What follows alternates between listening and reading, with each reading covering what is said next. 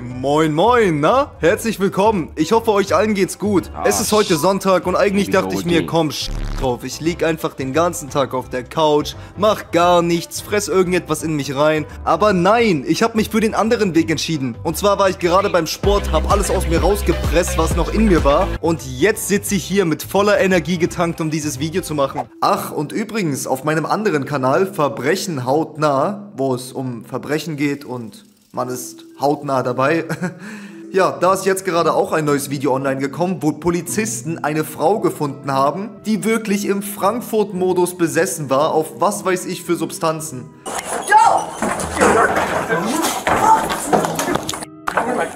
Könnt ihr euch gerne reinziehen, das war geisteskrank. Direkt unten in der Beschreibung oder nach dem Video verlinkt. Kuss geht raus. Und ich glaube, ich habe genauso viel Energie wie diese Opa in diesem Video. Die versuchen da irgendeinen Holzstamm aus dem Boden zu reißen. Da vorne ist der Traktor und daneben ist seine Hilfe. Ey, der Opa sorgt nochmal für den zusätzlichen PS. Come on! Come on! Come on on! Grob schon, Bruder, noch ein bisschen, noch ein bisschen mehr, noch ein Stück, noch ein Stück, noch ein Stück. Du hast es gleich. Ein paar Sekunden später. Ich finde auch er ist eine größere Hilfe als der Traktor daneben. Der bringt ja gar nichts. Die wirkliche Kraft bringt der Opa mit seinem Rollstuhl. In diesen Opa habe ich Vertrauen. Und wo wir gerade so bei dem Thema Vertrauen sind, ich bin hier auf eine Werbung von einer Kirche gestoßen. Das ist geisteskrank. Wer auch immer dort in der Social Media Abteilung saß und sich das ausgedacht hat, hat 500 IQ. Aber seit wann gibt es eigentlich eine Marketingabteilung für eine Kirche, die dann Social Media Werbung macht? Hä? Trust in man. Put your trust in God. We meet every Sunday at 3 p.m., every Wednesday at 7 o'clock. Wow, also das ist wirklich eine 500 IQ Werbung. Das hat mich direkt überzeugt. Und das Ding ist auch abgegangen. 300.000 Likes. Es hätte keine bessere Werbung geben können für diese Kirche. Das ist anscheinend jetzt der neue Grind. Ich feiere das. Und genau auf diese Welle, dass man jetzt so lustige Werbungen macht, die fast schon Memes sind, springen jetzt auch andere Unternehmen auf Instagram drauf auf. Wie zum Beispiel hier. Day in Istanbul.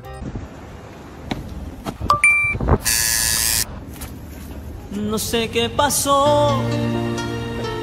Ah, ach so, ich verstehe. Er ist ganz zufällig gestolpert und hat dann, ja, zack, zack, zack, die Haartransplantation einfach mal so mitgenommen, ne? Einfach mal, einfach mal kurz neue Haare transplantiert bekommen. Wer kennt es nicht? Und hier muss ich auch wieder sagen, ich glaube, es gibt keine bessere Werbung auf der Welt als für diese Haartransplantationsklinik. Die haben wirklich das Marketing einmal komplett von A bis Z durchgespielt. Und 866.000 Likes. Ich glaube, die haben noch nie in ihrem Leben so viele Kunden wie an diesem Tag bekommen. Aber da muss ich auch schon mal sagen, das ist wirklich sehr, sehr gut gemacht. Also mich haben die jetzt auch überzeugt. Ich glaube, ich gehe da jetzt auch hin und lasse mir meine Haare transplantieren. Wysyłałem, ale... Mama. Kurwa, jadą, jadą po nas. Und was passiert hier jetzt schon wieder? Da fährt doch gerade die Feuerwehr vorbei, weil irgendjemand die gerufen hat, dass es irgendwo brennt. Wahrscheinlich hat jemand beim Kochen reingeschissen. Und wahrscheinlich war dieserjenige auch der Typ, der jetzt in diesem Auto sitzt und einfach weiterkocht. Was für eine Psychose, ey. Das, wir müssen doch in einer Simulation leben, oder? Ich habe noch nie jemanden gesehen, der auf dem Beifahrersitz sich Essen gemacht hat. Das ist noch nie passiert. Und wahrscheinlich ist der Bruder gerade wirklich geflüchtet, weil vor fünf Minuten seine Küche zu Hause abgebrannt ist. Und er sich jetzt einfach gedacht hat, oh, drauf. Hier ist alles am Arsch. Es gibt nur noch eine Option. Ich muss wegrennen. So schnell wie möglich. Aber die Würstchen, die, die nehme ich noch mit. Ah, ich will nicht wissen, wie das Auto stinken muss. Der Fahrer bekommt doch fast keine Luft mehr. Der crasht gleich auch noch das Auto. Aber sieht irgendwie delicious aus. Das gibt so den, den gewissen Vibe, you know? Der, so das gewisse Aroma, wenn das auch einfach mal im Auto auf dem Beifahrersitz gemacht wurde, auf der Flucht. Das gibt das gewisse Extra, die gewisse Liebe. Versteht ihr so das gewisse Extra von dem hier? Checkt ihr? Von dem hier einfach. Barbed Wire Moustache.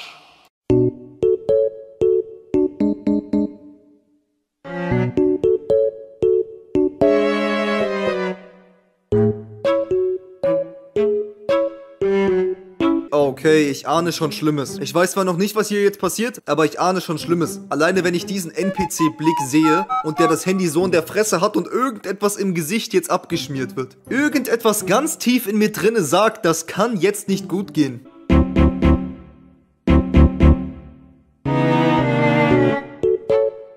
Ey, bitte sag mir, dass das ein Troll ist. Bitte sag mir, dass das Video jetzt einfach endet oder er irgendetwas anderes tätowiert bekommt, aber sag mir nicht, der macht sich wirklich dieses Tattoo über seinen Mund. Nein, nein, nein. Das kann er nicht ernst meinen. Der Bruder hat 100% eine Wette verloren.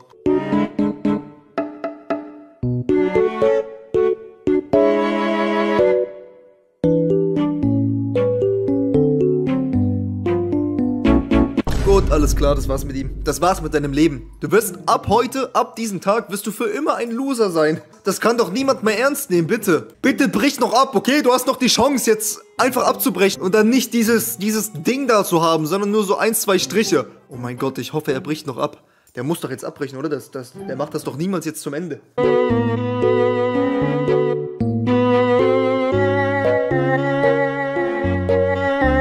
Brother, uh, what's that? Oh my goodness. Gut, ich muss erst mal reinhauen. Haut rein. Ach du Scheiße. Oh mein Gott. Was hat der mit sich angestellt? Der hat sein komplettes Gesicht ruiniert. Wie willst du das bitte deiner Mutter erklären? Erklär das mal bitte deiner Mutter oder deinem Vater. Bro, ich stell mir gerade vor, ne, würde ich mir dieses Tattoo machen und ich würde das meiner Mutter sagen. Meine Mutter würde wahrscheinlich erstmal anfangen zu heulen und sagen, ich hätte mein komplettes Gesicht ruiniert. Und mein Vater, von dem will ich gar nicht reden.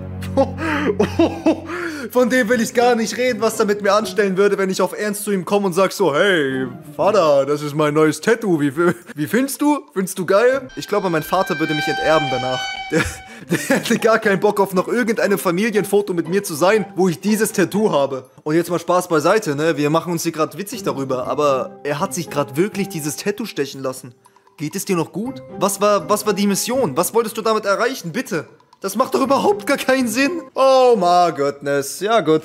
Ich weiß nicht, ob er sich darüber im Klaren ist, aber dieses Tattoo wird halt sein komplettes Leben verändern. Das wird einen so großen Einfluss nehmen auf sein Leben, das ist verrückt. Die einzige Option, die er jetzt hat, ist einfach, ja. Oder wie wär's, wenn du einfach versuchst, YouTube-Videos zu machen und einfach dabei dein Gesicht nicht zeigst? Vertrau mir, Bruder, das ist das Beste, was du machen kannst. Wer weiß, ob nicht sogar ich das bin und ich eigentlich dieses Tattoo hab und genau deswegen mein Gesicht nicht zeigt. Tja, ihr werdet es niemals erfahren. 70-year-old German lives full-time on German Trains. Und für alle Analphabeten, die noch immer in der vierten Klasse hängen und kein Englisch können, 17-jähriger Deutscher lebt die ganze Zeit in deutschen Zügen. Oh, wie krass war das übersetzt, ja? Ich muss mir auf die Schulter klopfen. Gut gemacht, Ben, gut gemacht. I'm 17 and I live full time on the train. Ich habe mich im Sommer 2022 nach meinem Realschulabschluss dazu entschlossen, in Zug zu ziehen. Und was für ein Zug?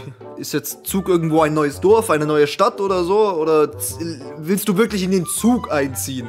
Funktioniert das überhaupt? Also die einzigen, die ich dabei beobachtet habe, die das auch versucht haben, die wurden fünf Minuten später rausgekickt. Das waren nämlich irgendwelche Obdachlosen in der Berliner U-Bahn, die einfach dort drinnen leben wollten, ohne Ticket. Dann morgens entscheiden, ob ich tagsüber in die Alpen oder in der Ostsee baden gehen will. Das ist alles. Wie in die Alpen, Bruder? Der, ach, der, der, der meint das ernst. Der lebt wirklich in dem Zug. Der geht wirklich, glaube ich, so am Morgen in die Alpen und am Abend geht er in die Ostsee. Was ich zum Leben im Zug brauche, das ist eine Decke nachts zum Zudecken, ein paar Klamotten, die ich dabei habe, drei T-Shirts. Du willst mir sagen, alle deine Besitztümer, alles was du hast, ist in dieser Tasche? In diesem Rucksack? Bruder, ich habe gerade auf meinem Schreibtisch hier mehr Dinge liegen, als du in deinem Rucksack hast. Das ist verrückt. Das ist wirklich verrückt. Zwei Hosen, Zahnbürste. Ich arbeite als Softwareentwickler für ein kleines Kölner IT-Startup. Ich kann dann arbeiten, was ich will. Mein Leben im Zug, das kostet so roundabout 10.000 Euro im Jahr. Ähm, der größte Teil davon geht für die Bank, hat 100 erste Klasse drauf. Meistens 10.000 Euro im Jahr, das sind ungefähr so 800 Euro pro Monat. Dafür, dass du im Zug lebst, ja, also ich kann das gerade echt nicht einschätzen, ne? Aber ich weiß nicht, Bruder, ob das jetzt so geil ist. Aber wenn du Lust darauf hast, so, okay. Irgendwo muss ich sagen, auch Respekt der Hustle, ne? Weil wer wirklich die Eier hat und es auch so lange aushält, in einem Zug zu leben, Bruder. Respekt. Ich glaube, du wirst alles überstehen im Leben. Dich kann ja gar nichts kleinkriegen. Ich will nicht wissen, was dieser Typ alleine in der letzten Woche alles mitbekommen hat. Da muss ja so heftige Sch alles passieren und der Typ ist direkt dabei. Der bekommt alles sofort aus erster Quelle mit. Stell dir mal vor, er lernt gerade so eine kennen, so, die verstehen sich richtig gut. Sie verliebt sich auch so ein bisschen in ihn, weil er ist so ein süßer Boy, you know. Und dann fragt sie so, yo, kann ich heute zu dir kommen oder so? Und dann sagt er so, klar, klar, klar, schau, die kommt vorbei. Wir können bei mir chillen in meiner Wohnung. Ich, ich habe meine eigenen vier Wände.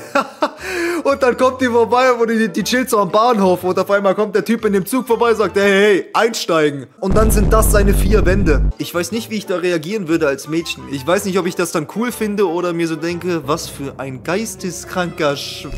Was will der? Oder ich hau ab. Ich drehe mich um, ich hau ab im Vollsprint. Wasche ich meine Wäsche mit der Hand in der DB Lounge und hänge sie dann über Nacht in irgendeinem äh, Nacht-ICE neben Schlaf. Meistens esse ich in der DB Lounge. Dort kann ich mich auch einfach mal waschen, Katzenwäsche oder sowas ist da überhaupt gar kein Problem. Die ersten zwei, drei Monate echt schlecht geschlafen, war oft übermüdet. Mittlerweile geht das deutlich besser. Meine Lieblingsstadt in Deutschland ist Berlin auf jeden Fall. Ey, der Bruder hat wirklich Sparen studiert, ne? Der ist der Sparfuchs Nummer 1. Ich kann mir das irgendwie nicht geil vorstellen. Das ist vielleicht so für ein, zwei Wochen cool so, dass du überall hinkommst, wo du willst. Aber Bruder, hast du keine Freunde oder so? Also was ist denn mit denen? Wie sieht das denn aus so am Wochenende, wenn du irgendwas machen willst? Stell dir mal vor, du so, du bist auf einer Party, alle gehen nach Hause und du, oder du musst fünf Stunden warten, bis dein nächster Zug kommt, bis dein nächstes Zuhause endlich ankommt zu dir und du einsteigen kannst. Also ich glaube, um das zu machen so, ist zwar nice, dass er so viel Geld spart, okay, okay, und dass er so minimalistisch lebt, ja, ist nice, aber ich sag, dafür muss man schon so ein, zwei Glühbirnen weniger haben, damit man das auf jeden Fall aushält. Aber anders kann ich mir das nicht vorstellen, dass der Typ sich das über mehrere Monate lang gibt, in einem Zug zu leben. Ich würde doch psychisch komplett kaputt gehen nach der Zeit. Bei dem nächsten Clip, bitte fragt mich einfach nicht warum, okay? Bitte hinterfragt es einfach nicht. Ich war so auf Instagram am Swipen und dann bin ich auf dieses Video gestoßen. Ja, das ist alles. Dort liegt einfach irgendein Typ und... Digga, ist der schwanger? ist der schwanger? Das Video ist einfach nur er, wie er da liegt mit diesem dicken Bauch und auch einfach kein Sound. Da war einfach kein Sound. Das Video hört sich wirklich so an. Kein Sound zu haben bei einem Instagram Reel ist wirklich crazy, also auf Ernst. Ich habe so viele Fragen, wer ist dieser Typ? Wo ist der Sound? Wo liegt er da? Und vor allem, warum hat der diesen fetten Bauch? Der hat wirklich einen Ball verschluckt. der hat einen von diesen Gymnastikbällen, die es damals in der Schule gab, hat er gegessen. Ich hoffe, dem geht's gut, aber so wie das aussieht, ist er einfach nur am Chillen. Der hat gerade bestimmt einfach nur gegessen und hat deswegen so einen dicken Bauch. Der, ist einfach nur, der hat einfach nur gerade sich gut, gut schmecken lassen.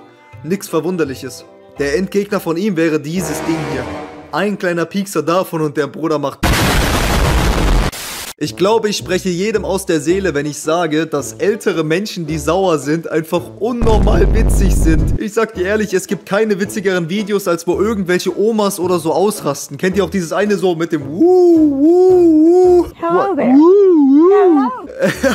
Ey, wenn so ältere Karens am Ausrasten und Ragen sind und die so sauer sind und irgendwie, ja, krass sein wollen, ich kann das einfach nicht ernst nehmen. Genauso wie diese Oma hier. Die Oma da ist aus irgendeinem Grund sauer auf den Typen, der das Handy hält. Und jetzt versucht sie ihm hinterher zu rennen und zeigt die ganze Zeit den Stinkefinger, okay? Sie will jetzt hinterher rennen, hinterher sprinten. Sie will diesen ungezogenen Bengel unbedingt erwischen und ihm eine Lektion erteilen.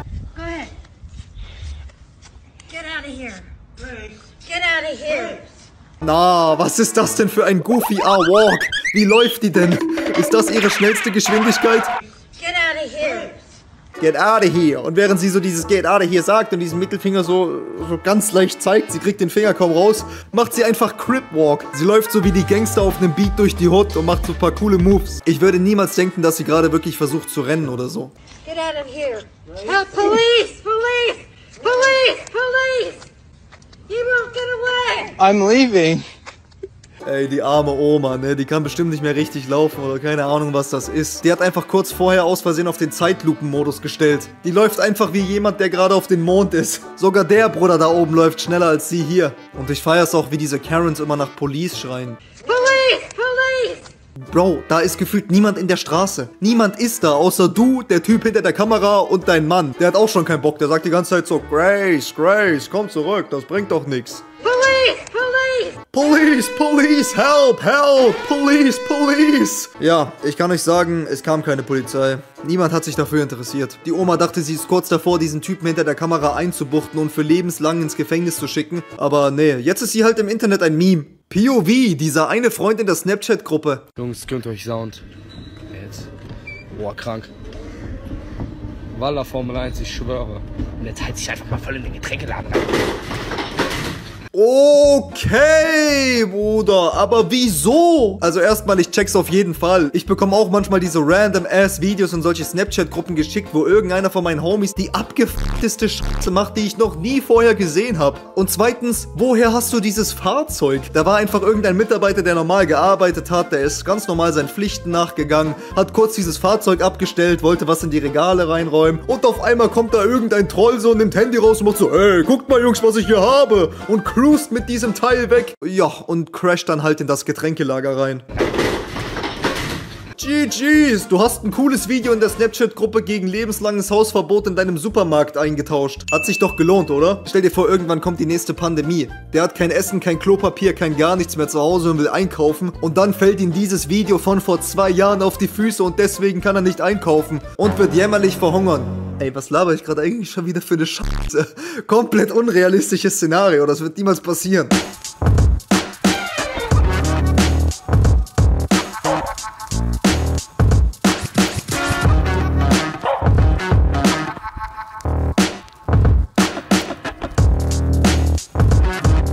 Okay, es gibt immer diesen einen Typen, der rein muss. Es gibt immer diesen einen, der übertreiben muss. Wie nah bist du an deinem Bildschirm? Willst du den küssen? Der hält diesen anderen Augenkontakt mit seinem Bildschirm, ne? Der macht, der macht auf Ernst. Und was geht mit der Maus und deinem Rücken und deiner Armstellung? Bruder, was geht mit deinem Körper? Du verrenkst gerade jedes einzelne Stück davon. Ich kann mir nicht vorstellen, dass sowas funktioniert. Als ob der damit irgendeinen Vorteil im Spiel hat. Der ist so nah mit seiner Fresse an diesem Bildschirm, der erkennt einfach nur noch diese Pixel hier. Ich kann das nicht ernst nehmen. Drauf, wie krass du irgendwie in einem Spiel bist. Junge, wenn du so vor deinem Monitor sitzt und so am Zocken bist, such dir Hilfe. Hör auf zu spielen. Geh einfach mal raus an die frische Luft. Fass mal bisschen Gras an, Bro. Einfach mal wegkommen vom PC. Ich glaube, das würde dir ganz gut tun. Und ich weiß, wem das auch richtig, richtig gut tun würde.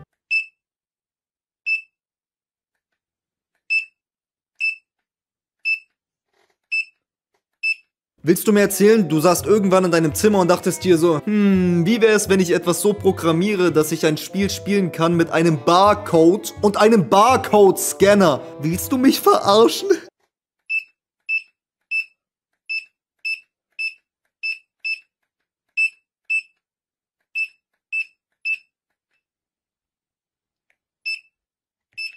Ja, okay. Ich muss sagen, also Kreativität 10 von 10. Umsetzung 10 von 10. Sinnhaftigkeit 0 von 10. Wie soll ich mir das vorstellen, wenn ich mit den Jungs am Spielen bin? Die sind so irgendwo am anderen Ende der Map und sagen so, yo, komm mal her, komm mal her. Und ich sag so, alles klar, Jungs, ich bin unterwegs. Und dann muss ich das machen. Alles gut, Jungs, ich hab's gleich. Noch 20 Minuten, ich bin gleich da.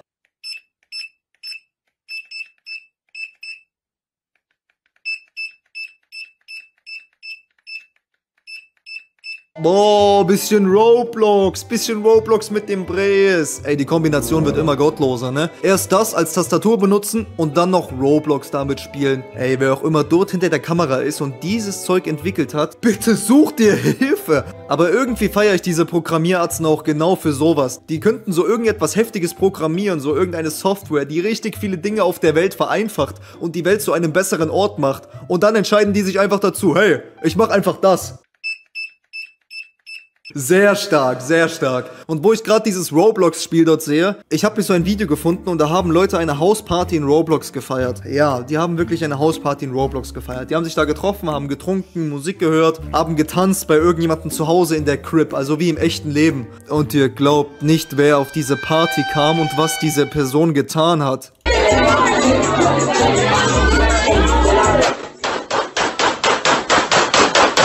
Ach du heilige Scheiße, ist das gottlos. Oh mein Gott. Ich lache auch jetzt hier nicht darüber, weil das ist wirklich gottlos. Bruder, da kam einfach wirklich jemand und hat die Hausparty abgeschootet. Oh mein Gott, Bro. Was ein ekelhafter Bar. Der geht einfach in die Roblox Hausparty und zerstört die, in der er ein Massenshooting veranstaltet. Ey, der hat wirklich nur Angst vor Gott. Ne? Was muss man für ein geisteskranker Mensch sein, um das zu planen und das dann noch zu machen? Einmal ein dickes F für alle Leute, die auf dieser Hausparty sind und leider ihr eines Roblox-Herz verloren haben und ihre Robux gedroppt haben auf den Boden. Einmal ein dickes F an unsere gefallenen Brüder. Ey, und wo wir gerade schon so bei diesen ganzen Gamern sind, ich habe hier noch ein Video gefunden und da hat sich mal wirklich wieder die Elite der Elite der Elite von Zockern versammelt. Wenn mich jemand fragt, wie würdest du so diese Leute beschreiben, die um ihr Leben ein Videospiel spielen, dann würde ich ihnen genau dieses Video zeigen.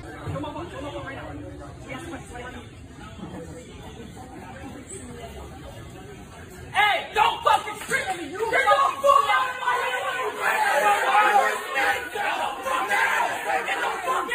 Ich habe keine Ahnung, was passiert ist, aber wahrscheinlich hat irgendjemand einen Fehler gemacht, irgendjemand hat was von dem anderen zerstört, irgendjemand hat dem anderen seine Robux geklaut. Keine Ahnung, aber wieso rasten die da alle aus? Ist euch eigentlich mal bewusst, was ihr hier gerade tut? Ihr sitzt so mit 20, 30 Mann in einem Raum. Wahrscheinlich hat jeder von euch da das letzte Mal vor drei Tagen geduscht und ihr seid da den ganzen Tag am Zocken. Und jetzt rastet ihr alle aus, beleidigt euch gegenseitig, schmeißt mit bösen Wörtern um euch. Also ich weiß nicht, ob das an mir liegt, aber irgendwie ist das ziemlich loserhaft.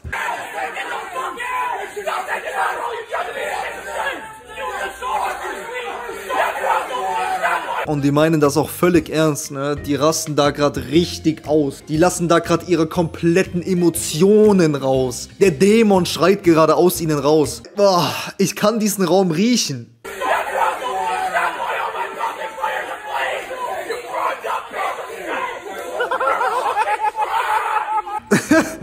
Der da hinten, der wollte auch nur so maximal reinprovozieren, ne? Würde ich in diesem Raum einmal sein, was ich nicht glaube, was ich jemals tun werde, aber würde ich da wirklich sein, dann würde ich es genauso machen wie der Typ da hinten. Einfach rein triggern mit den Stinkefingern.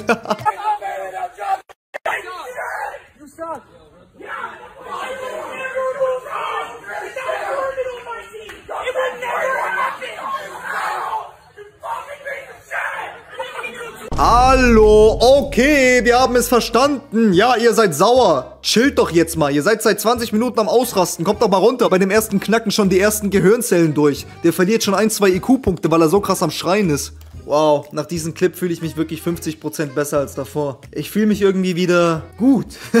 ich habe kein schlechtes Gewissen mehr, dass ich trotzdem den ganzen Tag vorm PC hänge. Weil ich zum Glück nicht so bin wie diese Jungs da. Einfach irgendwelche übergewichtigen Videospielspieler, die seit 20 Tagen nicht mehr geduscht haben, chillen mit 30 anderen dicken Videospielspielern in einem Raum, die auch seit 30 Tagen nicht mehr geduscht haben. Ey, ey, ey, vergesst mal ganz kurz alles, was ihr jemals in eurem Leben gelernt habt, okay? Ich zeige euch jetzt mal was richtig Geiles. Schnallt euch an.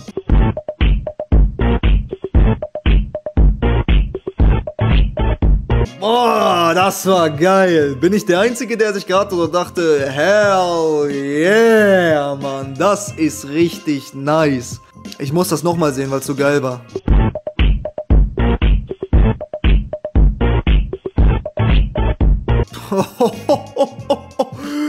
Junge, Junge, Junge, Junge, wie das Slice Butter da einfach lang slidet. Ey, ist das geil. Wirklich, einmal. Ich muss aber Applaus geben. Wie geil ist das? Ich muss das gleich nochmal sehen. Ey, ey, ey, und ich habe hier gleich noch ein richtig geiles Video für euch. Dort ist irgend so ein Wurm oder so und der ist so eingesperrt in einem Kreis voller Salz oder keine Ahnung, was da abgeht, aber schaut einfach mal zu. Oh my god, bro. Oh, hell no,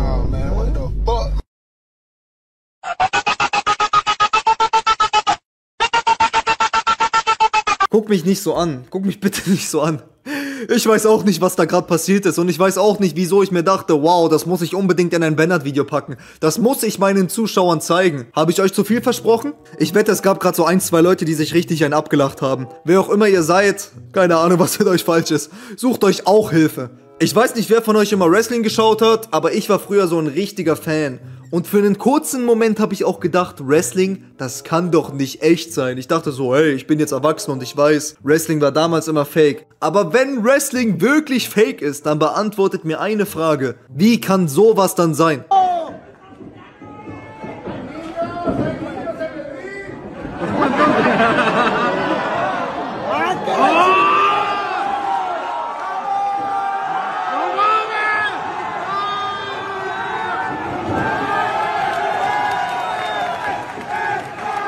Der Move nennt sich der Fidget Spinner Beyblade Remaster Triple Head Scissors Takedown. Und für alle Leute, die sagen, das ist fake, ihr seid einfach nur Hater, okay? Also wenn das nicht real ist, dann weiß ich auch nicht mehr. Guck doch mal diesen Move an, sowas kann nicht studiert sein. Der, der sich dort dreht, der ist ein, der, der ist ein erprobter Kämpfer, der macht das schon jahrelang, ne? Und selbst wenn es fake ist, dann sch drauf, dann ist es halt fake. Wisst ihr, was nicht fake ist? Meine Liebe zu euch. Vielen Dank mal wieder fürs Zuschauen. Wenn es euch gefallen hat, dann lasst mir einen Like und ein Abo auf dieses Video da. Wir sehen uns morgen wieder. Peace, peace, peace.